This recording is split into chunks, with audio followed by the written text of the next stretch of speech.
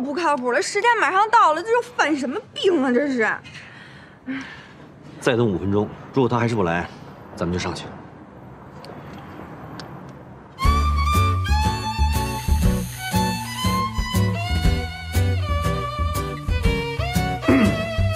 大家好，我叫郭新年，我现在要给你介绍一款非常棒的。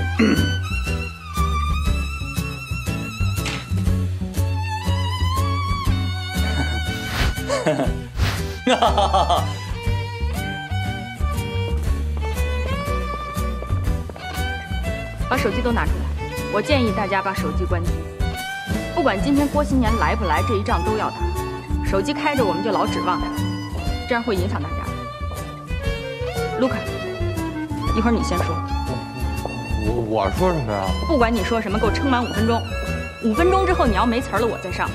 我要没词了。高低就只剩你了。今天就算输，我们也要用满这半小时。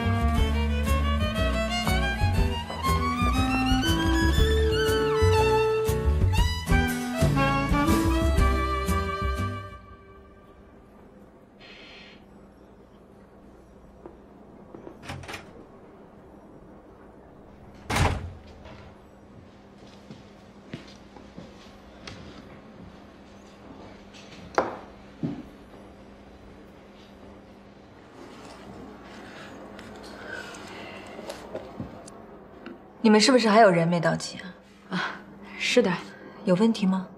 没问题。大家好，我叫郭新年，我现在给你介绍一款非常棒的软件，叫做魔晶，叫做魔晶，魔晶，魔晶，魔晶。不好意思，我们约定好的开会时间不能临时更改。我知道，彭总，我们现在可以开始吗？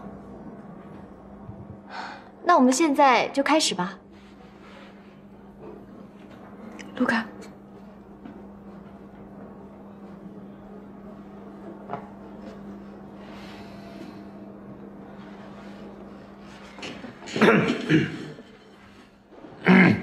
大家好，嗯，卢卡。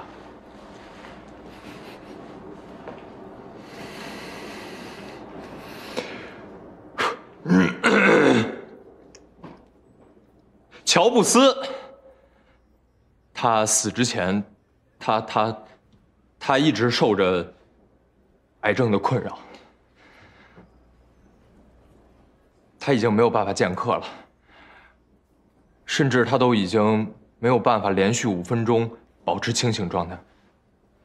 有一天，他的一个朋友来看他，这个人是谁？比尔盖茨。虽然知道他已经不能见客了，但是他的夫人还是把比尔盖茨来见他这件事情跟他说了。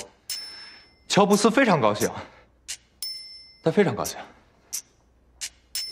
他为了掩饰自己瘦弱的身躯，他穿了两条牛仔裤，穿了一件很厚的上衣，就是为了看上去他好像还是精力旺盛的样子。他们两个人整整谈了两个半小时，两个半小时。这两个人一生恩恩怨怨，老死不相往来。他们又是世界互联网的两大巨头，两个不世出的天才，两个难以逾越的高峰。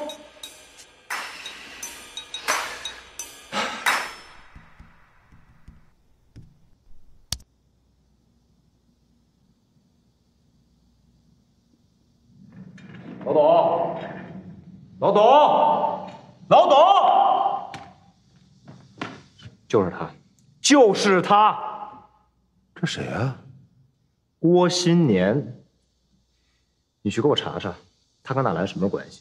他们俩是什么时候开始来往？现在已经进展到什么程度了？你什么意思啊？你是说纳兰和他？少爷，这可不是小事儿。我可以查，但是你不能胡来。我的那个结讯，就是我给你看过那东西，是纳兰留在我这儿的。他原来的名字叫魔晶，这个郭新年就是魔晶的创始人。他也是我们在洛菲斯的竞争对手。是他呀，我明白了。明白什么了？你最好别知道，你别管，别问，一切我来处理。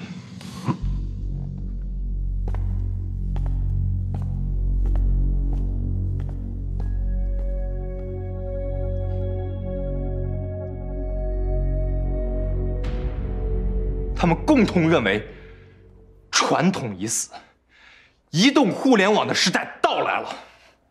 这是我读乔布斯传里最让我激动和感动的一段。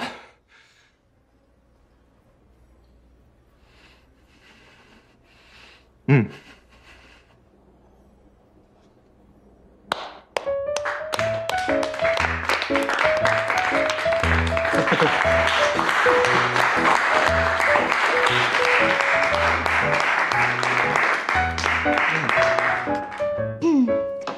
我们都非常感动，感谢你的分享。不客气。那现在我们可以谈一谈产品吗？产产品是吧？我我们产品很不错。哎，对不起对不起，老大这可算来了，你再不来整本乔布斯传都让我说完了。抱歉抱歉，坐。哎，各位不好意思啊，我来晚了。我尽量说的简单。能开始了吗我们已经开始了。？OK。Good.